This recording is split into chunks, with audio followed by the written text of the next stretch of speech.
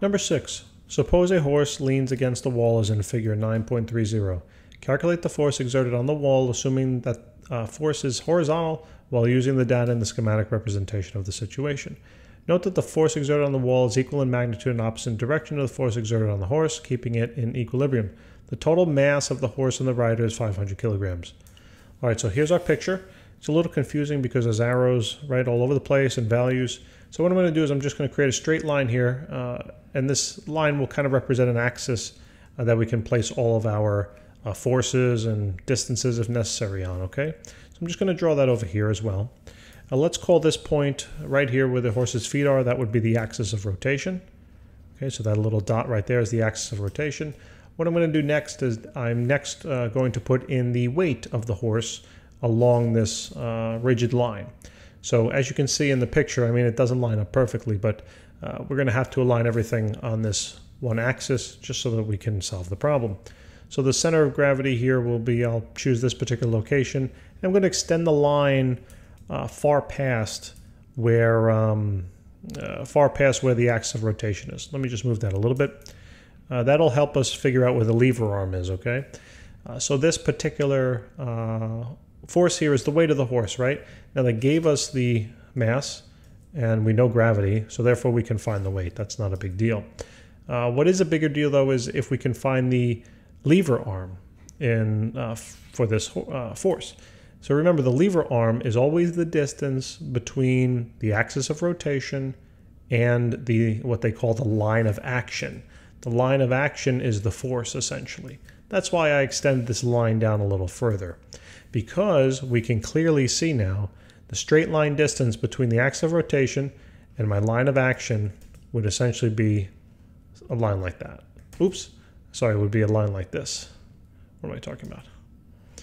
The line must be perpendicular. The lever arm must be perpendicular to the uh, line of action. Okay, so that's uh, that's what's important. Okay, so remember the lever arm here must always form a 90 degree angle uh, with respect to the applied force. Okay, so uh, do we know this particular distance? Well, yeah, fortunately they gave it to us in the problem, right? It's uh, 0.35 meters. So this is 0.35 meters. Okay. So, uh, what other forces are acting uh, on the horse? Well, it's the force of the wall, right? The wall is exerting a certain force on this horse, and that uh, force is going to be, I'll call it, uh, it's going to be centered somewhere around here, right? It's a little lower than the center of gravity because they told us that the center of gravity is 1.4 meters up, and the force of the wall is 1.2 meters up. So now what I'm going to do is I'm going to draw my force pointing away Okay, extend the line. Uh, and I'll call this the force of the wall, right? And um, that's what we're looking to calculate. So that's our question mark. Now, what is the uh, lever arm associated with this particular force? Remember, the lever arm is the distance between the axis of rotation and the force, and it must be per perpendicular to the line of action, or AKA the force vector. So how would I draw that? Well, it would look just like this, right? And here's the 90 degree line. Okay, so now let's see, uh, you know, let's uh, plug in a certain value for that. Now, what would the value of this, oops, what would the value of this R be? Well, go back to the photo at the top right. Notice they gave us the 1.2 meters, right? That is the vertical distance between the force and where the axis of rotation is. So this R will be 1.2 meters, okay? Uh, now let's see if we have everything uh, we need to know.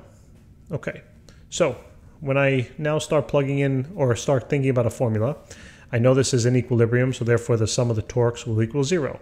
How many torques are there? Well, there are two, right? Uh, I'll call this one number one, and this one then number two. So now as I look to expand on this uh, sum of the torques, I realize that there are two torques in this problem, right? One in red and then one in yellow. So therefore it's going to be torque of one um, plus the torque of 2 will equal 0. Now at this particular stage what I'm actually going to do is I'm going to um, plug in a negative sign for one of these two, all right, and remembering that uh, torques that produce counterclockwise rotations are positive, torques that produce clockwise rotations are negative. And that being the case here, right, uh, let me just leave that as, actually, I'm just going to, uh, you, will see how I'm going to change this. So in terms of the uh, red torque, right, if the force is applied downward, this would rotate clockwise, uh, excuse me, counterclockwise, and therefore uh, this is a positive torque. So T1 is positive. Okay, in T2 here, if that force is applied, this would rotate clockwise, and therefore the torque is negative for 2. So all I'm going to do is I'm to erase the positive sign, plug in a negative sign, and now I don't have to worry about any other signs in the problem. I can just plug everything in as I see it. All right.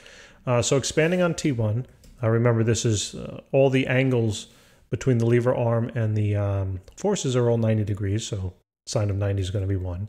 So therefore this will just work out to be R1 uh, F1 minus R2 F2. That will all equal 0. Okay, great.